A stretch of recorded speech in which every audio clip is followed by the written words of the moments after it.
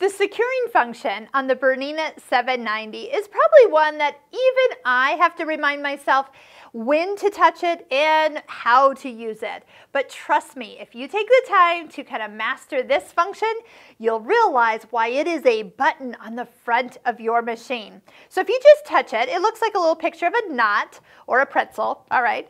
Um, you'll notice that that picture shows up on screen. So what is it going to do? It's going to go ahead and do that locking stitch and then take off.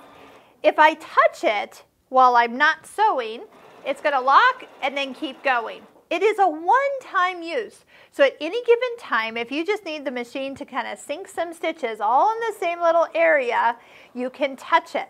Now, if you want to do it again, you need to touch it again. Now, if you do want it to lock and then stop, push it while you're sewing. So if you get to the end and you just push that little knot, it will lock it and my foot is still on the foot control, but it has stopped sewing. So there's definitely two different ways to use it. And like I said, if you don't practice with it or even try to remind yourself from time to time what it's for, that will kind of honestly, you won't ever use it. But if you can find when the right time is to use it, I think you're going to really like those extra little stitches.